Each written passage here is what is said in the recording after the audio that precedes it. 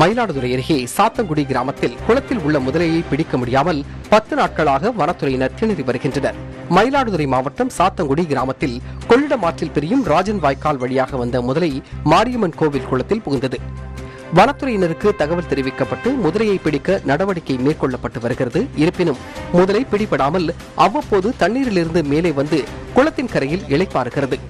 இதனால் முதலையை பிடிக்கும் வரையில் பொதுமக்கள் யாரும் குளத்தின் அருகில் செல்ல வேண்டாம் என்றும் கால்நடைகளை அவிழ்த்து விடக்கூடாது என்றும் வனத்துறையினர் அறிவிப்பு பலகை வைத்துள்ளனர்.